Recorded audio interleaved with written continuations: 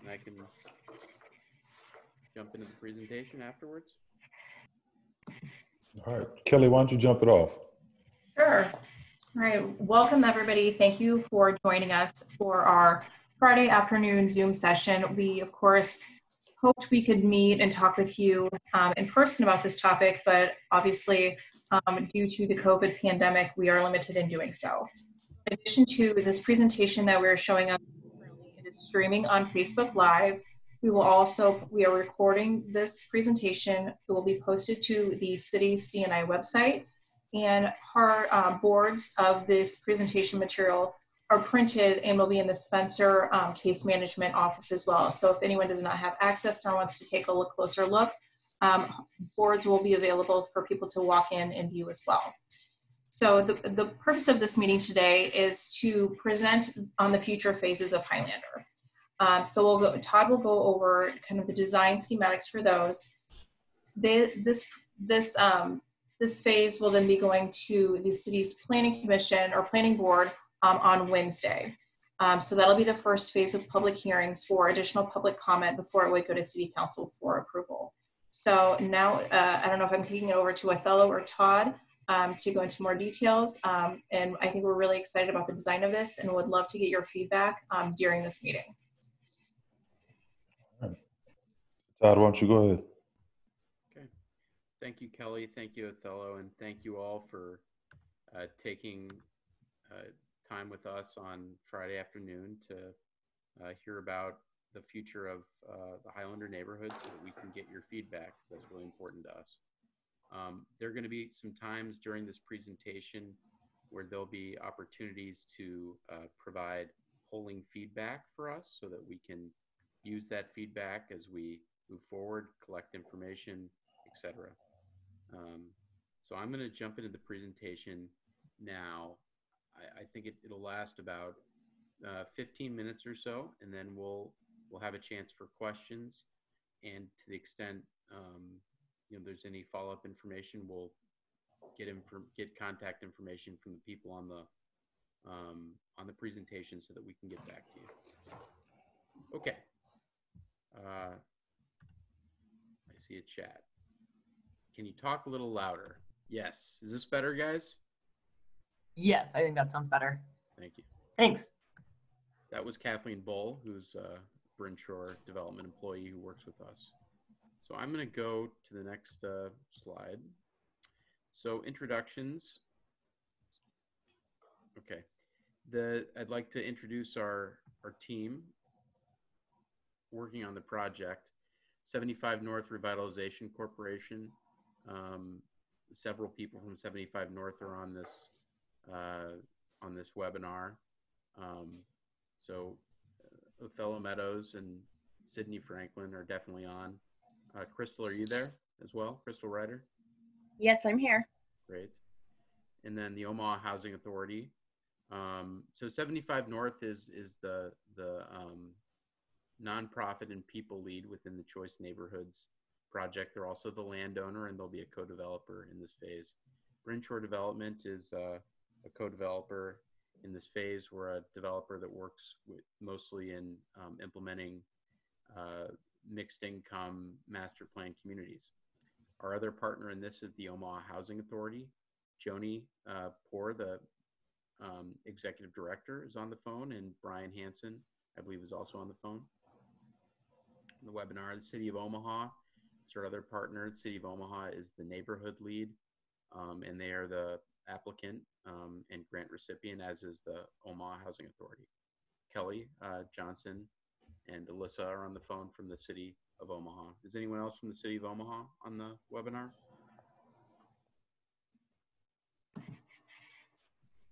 Um, our architects for this project are a collection of local and national architects, and the civil engineer is a local civil engineer, Alley Poyner Macchietto, Landabone Baker Eldorado, and Ehrhart Griffin. Um, we are going to have some participant polling um, that goes on during this presentation. We'd like to know of the participants on the um, on the presentation who is uh, uh, local. So I, I think who is in the neighborhood and who is uh, who is also outside the neighborhood. So I don't know how you want to do this, Kelly. Do you want to do the presentation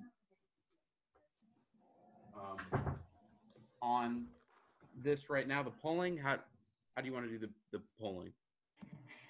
I think um, Alyssa has controls over the polling. I think a few of the questions we wanted to, to start, um, kick off the meeting with, such as where people um, currently reside. Okay, great. And is that going to be on the screen? Yes, it should, it should pop up as a, as a pop-out window.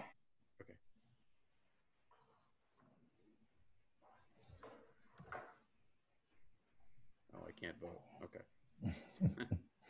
Yep, I did just launch it, so you should be able to see it.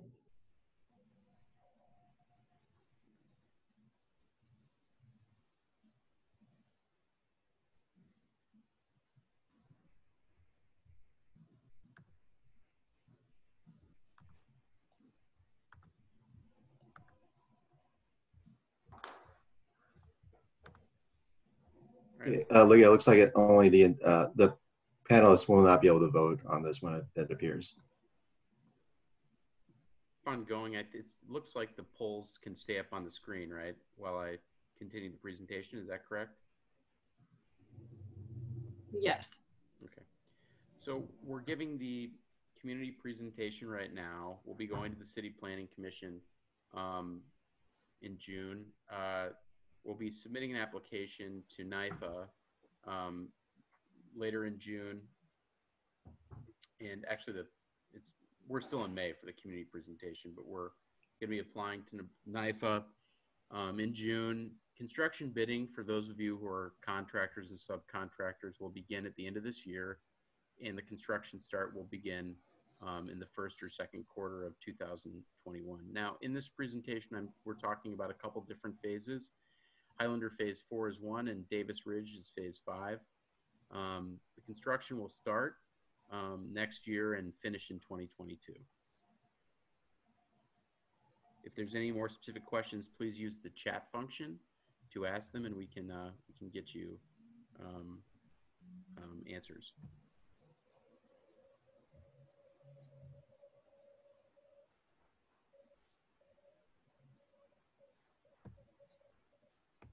Okay.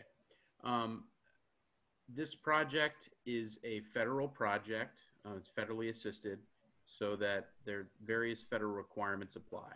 Section 3 of the Housing and Urban Development Act um, is a, a, a program that creates hiring, training, and contracting opportunities for low to very low income residents. And if you're um, to, to be eligible as a resident and, and businesses, to be eligible as a resident, you either have to be a public housing resident or you have to be- be below a certain income level.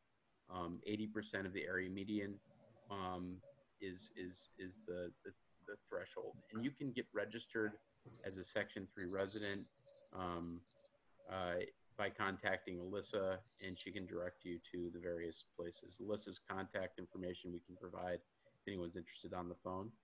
A Section Three business is a business that um, is either owned by a low-income um, owner or where 51% of the of the residents of the of the folks that work in the company are uh, Section Three um, employees. Um, and then in terms of our uh, goals for the project, uh, businesses were looking to hire at least 10% of um, 10% of the uh, subcontracts will go to Section 3 businesses, and 30% of the new hires on the project will go to Section 3 residents. I know it doesn't say that on here, but that's those are our goals. Um, the other criteria for a Section 3 business is a, a business that commits to contracting with Section 3 subcontractors for 25% of the total contract. Um, all the projects we're talking about today are subject to Davis-Bacon wage requirements. It's a federal prevailing wage.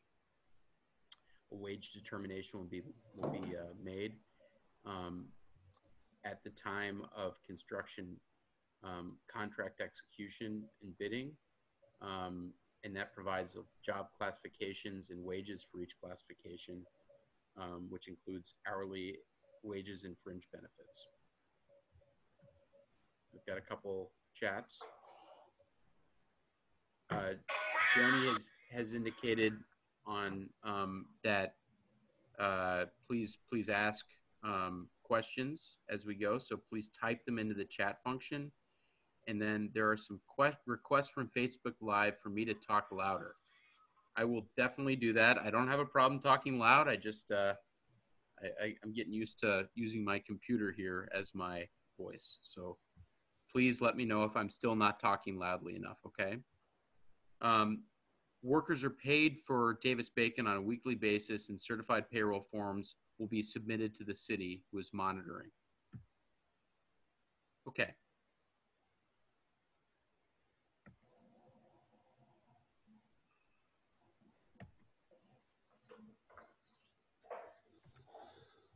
Okay. So um, I'm going to show you the completed work that we've done so far at the Highlander and then the future developments to set the stage for what we're going to be talking about today. Highlander Phase 1 was completed in 2018. Uh, it includes 101 units, a swimming pool, and a park. This was done with 75 North as our partner in Brinshore Development. The accelerator was completed as well in 2018. Uh, it's owned 100% by 75 North, and it's a, a 65,000 square foot non-residential building with uh, Creighton University, Metro Community College, a food hall, the offices of 75 North, Hardy Coffee, a uh, tech center called the Wash. Boy, my The Connect. the Connect, and then we also have an event space called the Venue. Nobility Point Senior is six, 60 units of mixed income housing, um, where there will be some replacement units for uh, folks coming out of Spencer Homes. Um, it will be completed at the end of the year, and it's under construction. Highlander Phase 4, which is what we're going to be talking about today, um, includes about 111 units. There'll be mixed income rental. There'll be a mixture of housing that will be available for people um, who are coming out of public housing, and it will be income based, so you'll pay no more than 30% of your income. Uh, a third of the units will be units for people who uh, are under 60% of the area median income, which is um, so it's income restricted for working families. And then a third of the units will be unrestricted units available to anyone regardless of income. Davis Ridge Highlander Phase 5 uh, is about close to 50 units. We'll be talking about that today as well. And it's mixed income in the proportion that we talked about for Highlander Phase 4. Highlander Phase 5 and Highlander Phase 4 are the projects we're talking about today. They will break ground in 2021 and be delivered in 2022. In the future, we'll be redeveloping, uh, developing Kennedy Square 1 and Kennedy Square 2, which will complete the North 30th Choice Neighborhoods project. We will not be talking about them today. We will have a separate meeting for those. Okay, so now the phases starting in 2021 are Davis Ridge, Highlander Phase 5, and Highlander Phase 4. Here is a site plan showing where they are. In the center of the screen is 30th Street. I'm going to see if I can get my cursor here. My laser pointer. Can you guys see my laser pointer? Okay, this is 30th Street. Patrick Street is right here.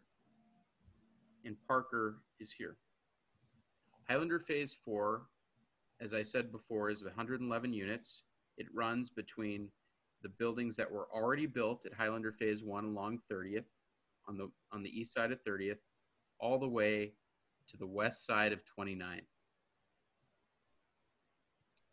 Um, it includes 111 units. There'll be a variety of units townhomes, walk ups, elevator buildings, mixed use buildings, pocket parks.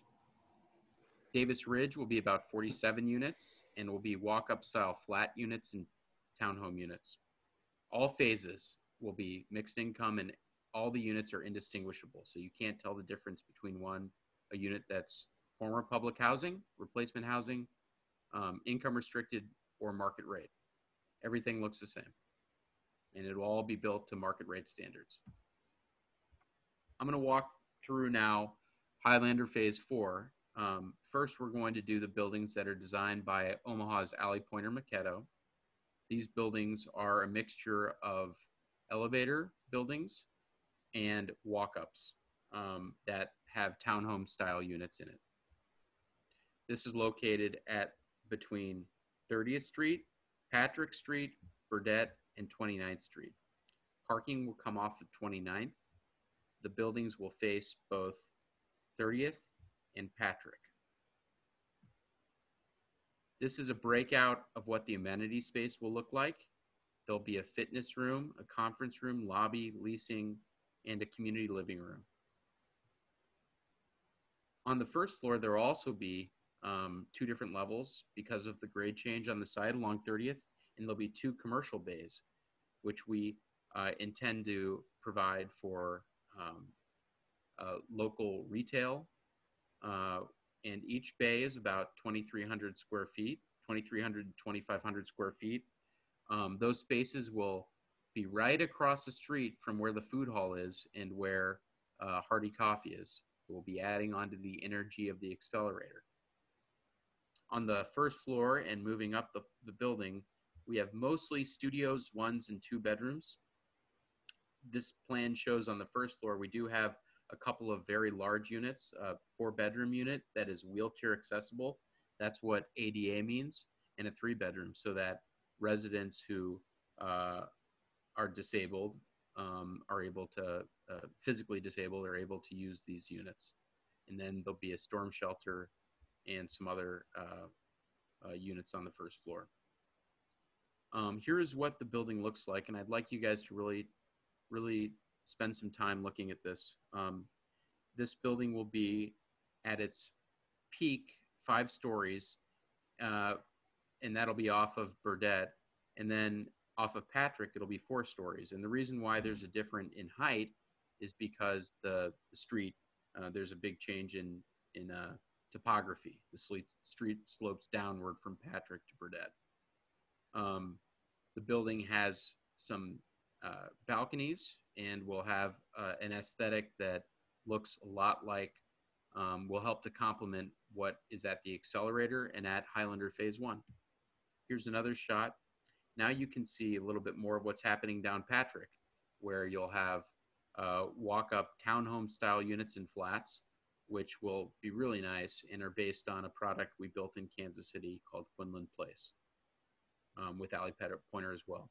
On the first floor, you can see the retail space here and down here. And again, the reason why they're at different levels is because the, the road slopes.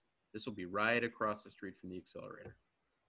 Here's a shot of what the walk-up uh, townhomes will look like.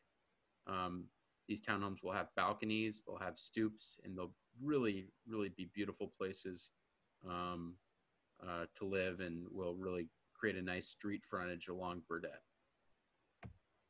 Here's another shot looking back towards um, uh, 30th Street from 29th, and you can see the, the face of the buildings with, um, with the larger building on the left side of the page here and the walk-ups on the rest of the page. These walk-ups will be flats on the first floor with uh, townhome style units above. So we wanted to show you some examples of the materials we're thinking. Um, a mixture of brick, metal panel, fiber cement, lap siding, which looks like siding, and then, um, you know, the um, storefront windows and some decking. So take a look at this. Obviously, the colors are very different on a lot of your screens, but um, the idea really is to have a um, an exterior that is soft and also um, has some similarities with what's across the street.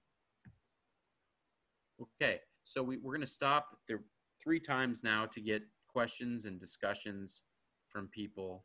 Um, I'd like to, if we can, if you have questions, either provide questions in the chat function, or um, I don't know if we have a polling um, question here or not, but this is an opportunity for you guys to give some feedback and talk.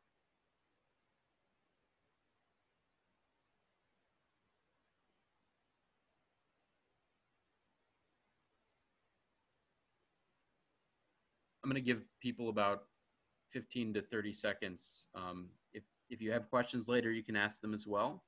But this is, again, a chance to um, make your voice heard. Okay, am I talking loud enough to all you people on Facebook?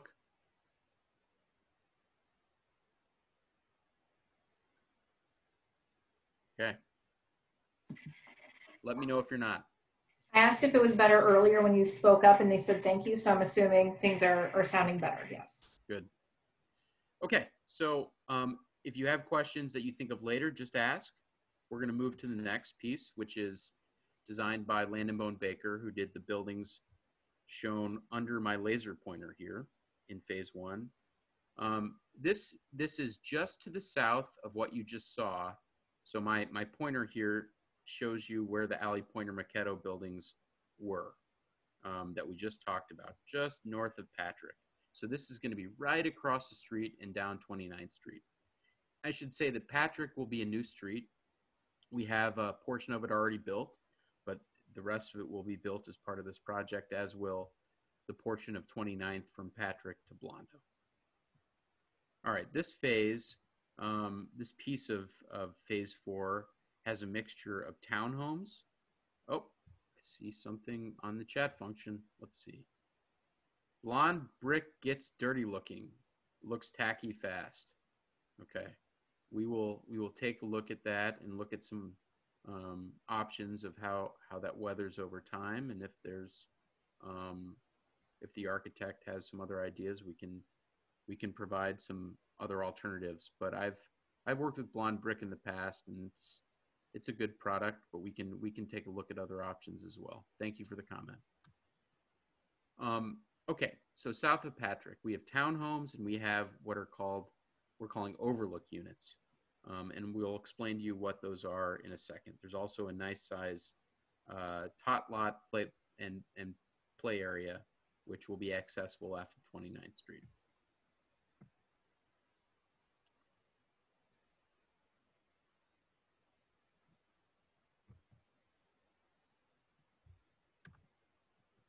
Okay.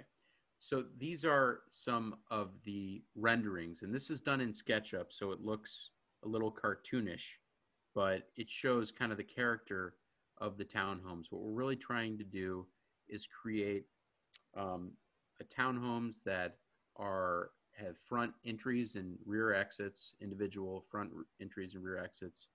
The materials you see here in the center are actually is actually brick. It's kind of hard to read on a computer screen and then we have uh, fiber um, bat, board and bat um, fiber cement, um, which is, is sort of mimics a, farmhouse type look.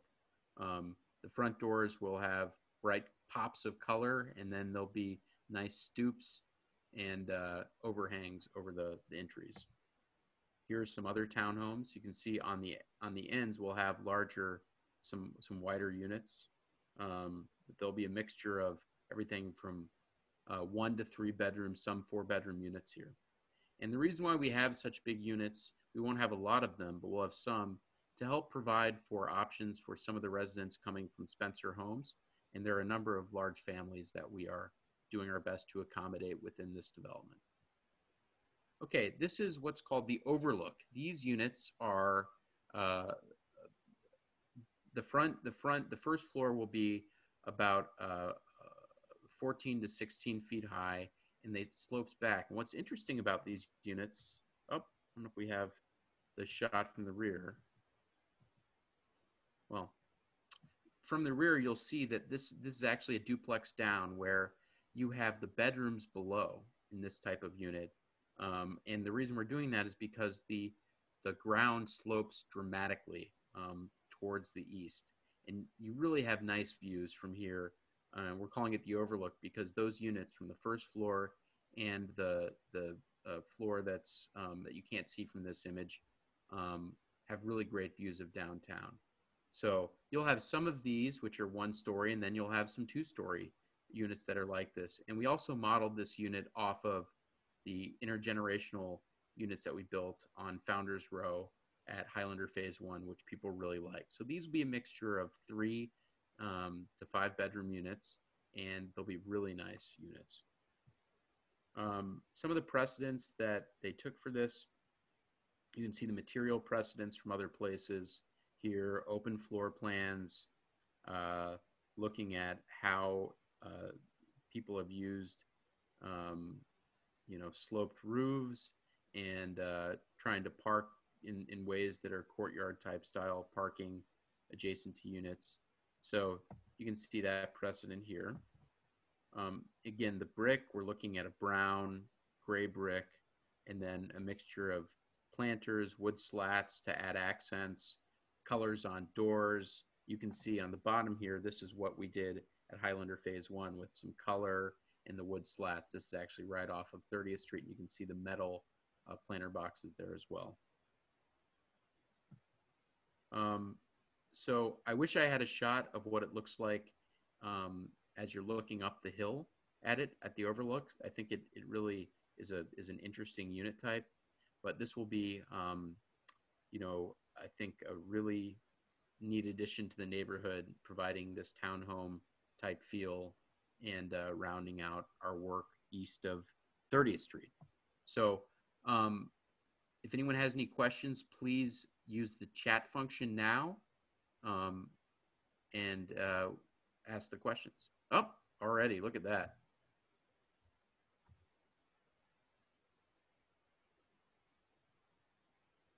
So I've, I've noticed that there's about a 15 second delay with Facebook Live. So we're going to give people about uh, 30 seconds on the um, Zoom webinar and then 15 seconds on Facebook Live. So that will, um, actually, I, I'm not sure that math makes sense. So I'm just going to give people about 30 seconds to uh, provide comments here. If you have any questions, comments, just let us know.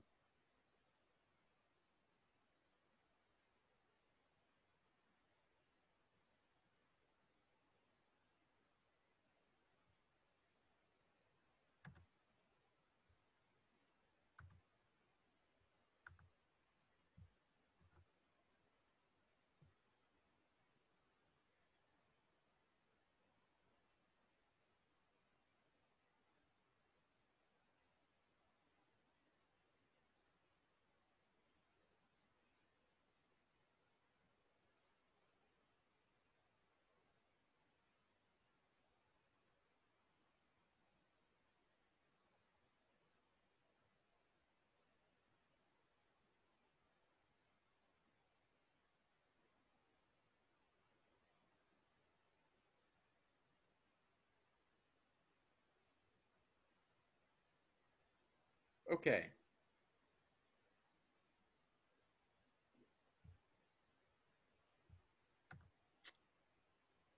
I am going to move on to the next piece of this, which is called Davis Ridge. It is on a different part of the site, so you can see it here. It is off of 30, uh, 31st Street and directly adjacent to the uh, Founders Row um, at um, Highlander and, and the accelerator. So it's it's just just to the west of the venue space and the greenhouse. Um, Founders Row, I mean, I'm sorry, Davis Ridge is really uh, is is based is a take on a sixplex or six flat that you see um, in in a lot of cities around the country. And one of the reasons we we looked at this and our architect looked at this uh, and the architect is Eldorado who designed the accelerator um, was to take advantage of the incredible views um, from this site. This is the highest point at, on the Highlander site. Um, and the units really celebrate that view back uh, over the Highlander neighborhood and into downtown. And I'm going to show you it, move forward to a slide. This is what it would look like from third floor of one of the units, which is pretty exciting. Um, and these units will be a mix of um, studios through three bedrooms, um, the three bedroom units will be uh, walk up uh, units on the first and second floor, so you won't be having to walk up many stairs. Um, but this, again, we're really highlighting this connection with the outdoor space looking over Highlander. I'm going back now to the plan. Okay. And you can see here, um, it's a little bit hard to read, but this is 31st Street. Highlander's right below the screen here. Um, the face of the building, there'll be a lot of windows and doors leading out to the um, balconies and porches on the site. And the parking will all be in the rear. Um, the materials are a mix of, of hardy and uh, um, I'm going to go to the material page now. Here are some precedents from um, different projects that the architect has done. Um, one project on the, this is in Kansas City, and it was actually a modular development, which was pretty neat. Um, it was delivered on trucks and assembled on site. And here's some other um, precedents that they're using for the materials. Um, the, the materials will be a mix of fiber cement, which is the material used on a lot of Highlander Phase 1, and then some um, different kinds of, uh, of, of, accents, whether it's um, uh, wood or metal. Um, this phase is moving separately. It's a separate phase, and we'll be going through a, a what's called the knife NIFA Crane program on this. Um, what's what's really neat again about this this unit is just how it how it really celebrates the connection back to the Highlander neighborhood. It provides um, really great floor plans, which we don't have in here, but floor plans that um, uh, have really nice open living, eating spaces, um, and uh, good sized bedrooms. Um, so this this should be, um, I think, the the final slide on the development. So what we wanted to give everyone on this um, call in this webinar is contact information for the various partners in the project. Um, Othello, who you heard from before, Kathleen Bull, who works with me in at Brinshore Development. You can also contact me if you'd like to as well. Um, Todd. Yeah, I'm sorry. Go ahead. Finish the kind of roll call, but then I want. Joni um, at the Omaha Housing Authority, Kelly, the city, and Alyssa on if you have any questions on Davis Bacon, um, if you have any questions on um, Section 3. And I should also note that one other big contracting focus for this project will be SEBs and local hiring. Um, it's very important for the project to not only build in the neighborhood, but also distribute benefits um, to companies in the neighborhood. So that's something that we're really um, interested in. So Todd, if you could go back to the last slide, Uh huh. uh, you know, one thing that is interesting about um, about Davis uh, Ridge is it, its name. Its name is an, an ode to uh, Captain Alfonza Davis, who uh, I think a lot of people are aware is from Omaha, and specifically North Omaha, but he's also from this actual neighborhood, uh, and so wanted to make sure that you know people uh, were aware that um, you know through little things like this, we're trying to keep you know the history and the culture of of, of this neighborhood in North Omaha alive, and so uh, super important figure, not just locally but nationally. Uh, and he was born right here, uh, about about three or four blocks away from where these new apartments will go. Yeah. It's incredibly important as well as contracting. And I would I would mention as well one thing I did not talk about was preferences. So if you are living in Spencer Homes right now and you are part of the um, Choice Neighborhoods program, you've been working with your relocation specialist, you will have a preference to move into a third of the units in this project um, as part of your right of return. So if you're interested in this, um, if you're interested in what you see here, you like what you see, uh, you'll work with your um, resident services and work with uh, various case managers so that you're ready to move when um, these projects are beginning their lease up. But for the for a third of the units, as part of the Choice Neighborhoods program, um, if you're if you're a Spencer Homes resident, you have an absolute right um, to move into these these developments as long as you're in good standing with the Omaha Housing Authority. Okay, so we've got some polling questions that um, that we'd like to do at this point. Um, before we do that, I would like to give everyone a chance to ask questions. um, or to uh, make comments on what they've seen here today. Um, so if you have questions or comments, please use the chat function um, to do that. If you um, if if you have questions you don't want to ask via chat, you can send emails to other folks that we've listed here in the contact information. So I'm going to give everyone about 30 seconds now to ask the questions via chat, and then we'll add ask some more polling questions. Okay.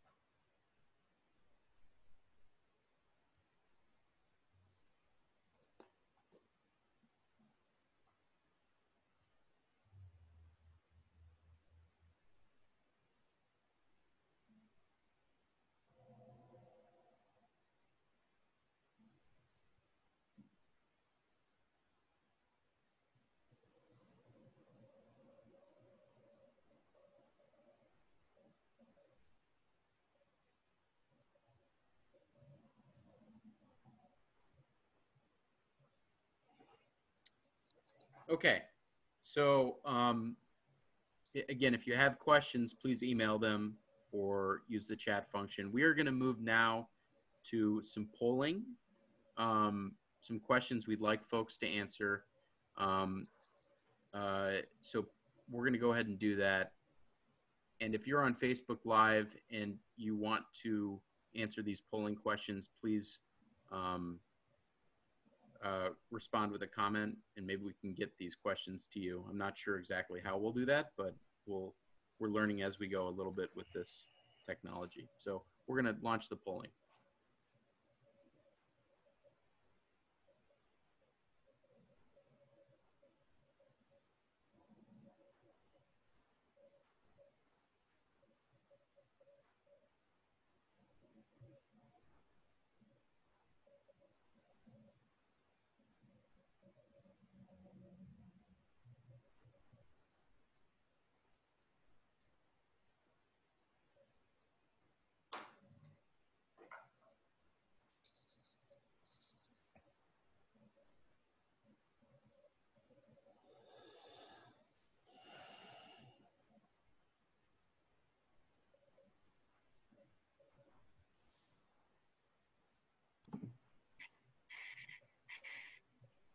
Okay, I, I'm gonna um, read the polls to people because folks on Facebook Live cannot see the polls. So the the the question that we had, we just asked, which is a pretty simple question, is would you like to live here? If you're interested in living here, um, say yes, because that gives us a sense of, and this is this is from the sense of uh, would this be somewhere where you would live? Second question Which development within these plans would you like to live at? So the, the options are Burdette and Wade, which is the uh, four and five story building and the walk up um, townhomes that Alley Poyner did. The Overlook, which is uh, the units that Landon Bone Baker did, the townhomes and the units overlooking um, the city on 29th Street, and Davis Ridge, which is on 31st Street, which is also units with really good views over the city. And the last option are the townhomes on Patrick, which I'm sorry, those townhomes are, also Alley Poyner. Sorry on Facebook Live, you can't see this poll.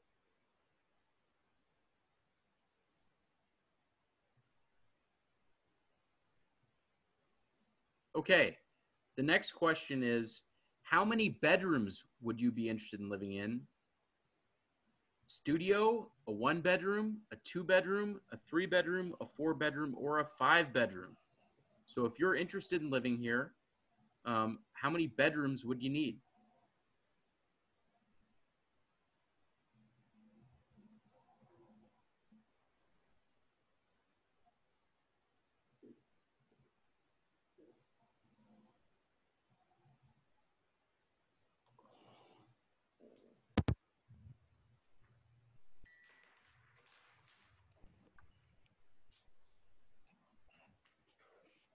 Very good question. Which which buildings or units have four plus bedrooms?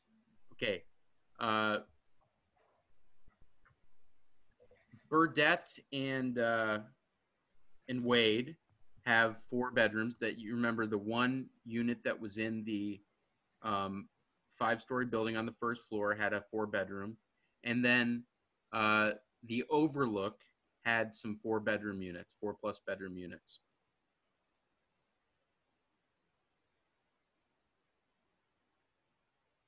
And if you're interested personally, if this is something that as a family you would be interested in learning more about, we can we can share where we are with the plans and get you on what's called an interested parties list so that when we start leasing, we can let you know.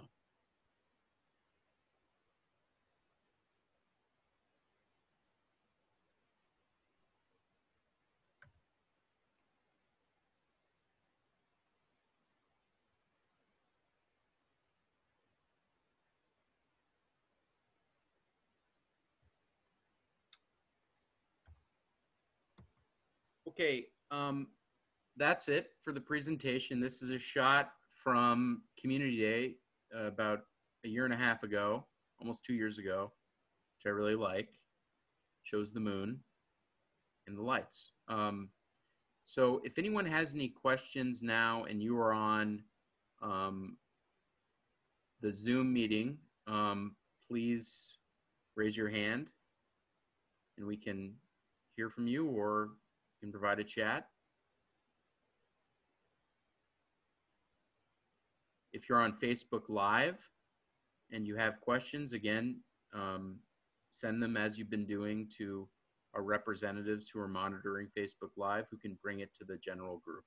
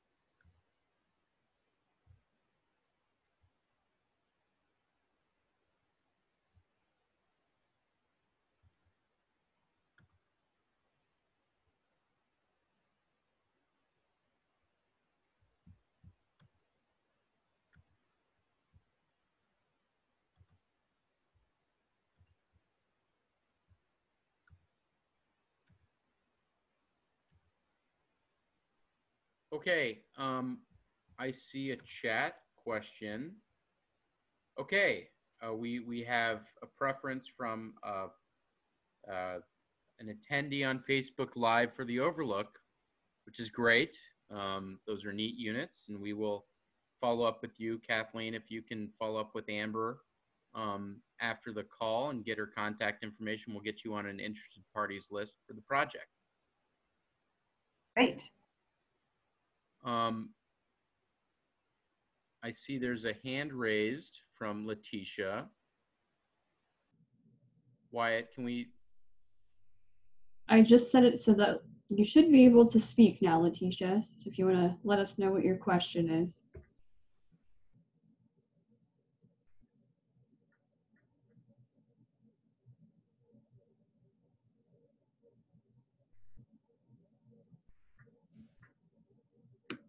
Uh, Letitia, I have a question. You have to uh, unmute um, if you can.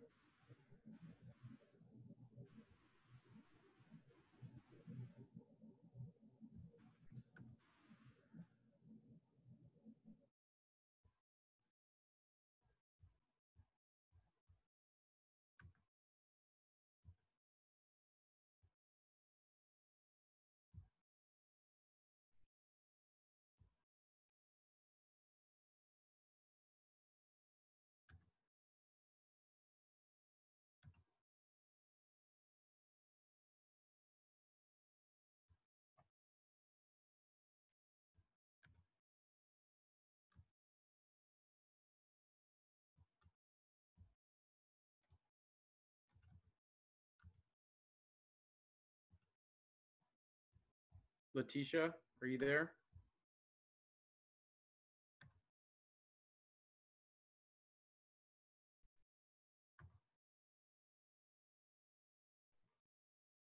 Okay, well, Letitia, if you have any questions, um, looks like you're on mute. If you could unmute. I think that will allow you to ask the question.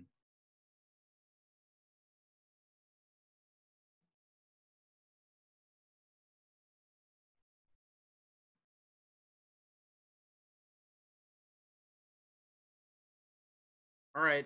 Um, well, Letitia, if you have a question, you'd like to email it to um, anyone on the team.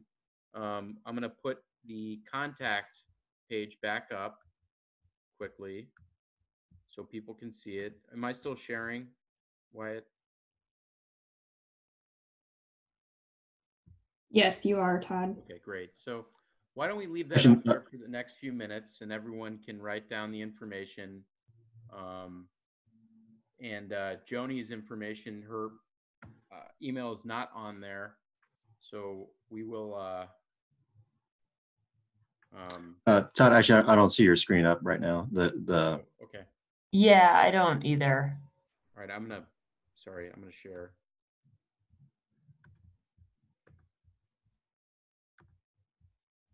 Okay. Can you guys see it now? yes. Okay, so we're- going to leave this on the screen for a while, and if you have questions, feel free to email the folks listed on the contact info. Um, thank you for your time today. Uh, we were very excited to move forward with you into this next critical piece of the North 30th Choice Neighborhoods Transformation Project, together with our partners, Omaha Housing Authority, the City of Omaha, and 75 North. Um, with that, I'm going to turn it back over to Othello and Kelly, who will close out the meeting.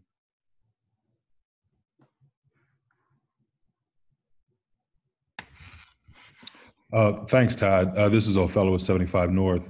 Um, I guess the only thing I would add in, in closing is that uh, these uh, email addresses, as well as the other information uh, that we've given you throughout this meeting, please don't hesitate to use that information. If you have questions that you think of later, please take down one of our email addresses uh, and send those questions to us. Um, our goal is to make sure that uh, everybody is informed and has input onto what ultimately gets developed in this neighborhood. So please don't be shy about using those email addresses, and that's what they're there for. So um, that's all I would add, unless you had anything else, Kelly. No, not at all. Um, we have some exciting, um, public, other public outreach coming up soon. Every resident in the neighborhood will be getting a survey or a questionnaire in the mail. Um, it's just another way that we're trying to adjust to COVID and getting feedback continuously. So be on the lookout for that. It'll be very important for you to fill out.